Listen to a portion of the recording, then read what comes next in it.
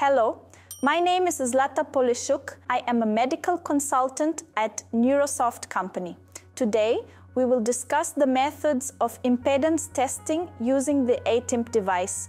What is tympanometry? Tympanometry is a method for objective diagnosis of the middle ear, tympanic membrane mobility, and admittance of the auditory ossicular chain by changing the pressure in the patient's external ear canal. We already have a video on our channel with recommendations for conducting this examination. Before the examination, it is necessary to perform otoscopy and ensure the absence of earwax in the patient's external ear canal, as well as exclude inflammatory conditions of the outer and middle ear. Connect the aTymp unit to the terminal or PC using the USB cable. Before starting the working day, we perform daily calibration of the device. To do this, go to the settings, press System Preferences, Daily Calibration. Take the probe, insert the probe tip firmly into the test cavity, then press the Start button.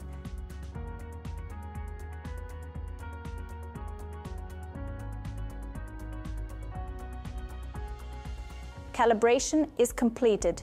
You can start working. Next, select a suitable sized ear tip. Firmly put it on the probe tip and insert it into the patient's external ear canal. For better fixation, you can use a special handle. It is not recommended to hold the probe with your hand during the examination. Place the unit on the patient using a special shoulder harness. Before starting the examination, we create a new patient in the database. Enter the name, last name, and date of birth. You can also enter other data if necessary. Press the check mark in the bottom right corner. Select the necessary examination. Tympanometry L for the left ear or tympanometry R for the right ear, respectively.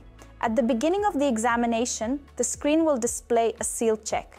If the ear tip is selected in the wrong size and there is a leakage or if the ear tip rests against the wall of the external ear canal, the test will be automatically paused.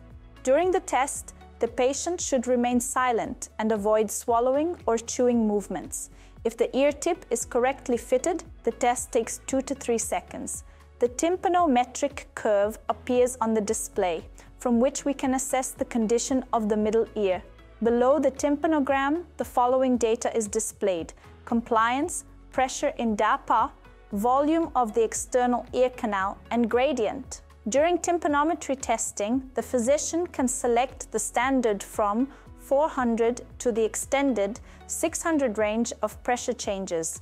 Change the probe tone frequency from the standard 226 Hz to the high frequency 1000 Hz for young children examination or the probe tone to 678 or 800 Hz for dislocation or disruption diagnosis of the ossicular chain. To change the probe tone frequency during the current examination, press the plus in the bottom left corner of the display and select the desired probe tone. The device allows recording four tympanograms in one examination. You can also change the start and stop pressures.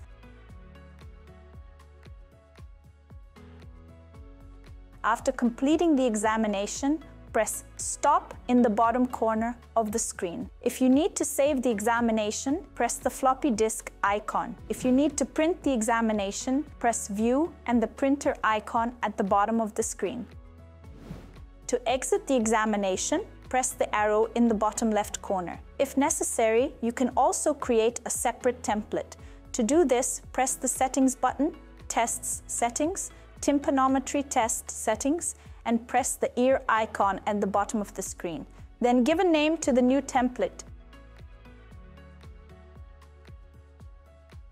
You can also change the start pressure, stop pressure, pressure change speed, and probe tone frequency. To save the template, press the arrow in the bottom left corner. You can import examination results to your PC and analyze them in the program software.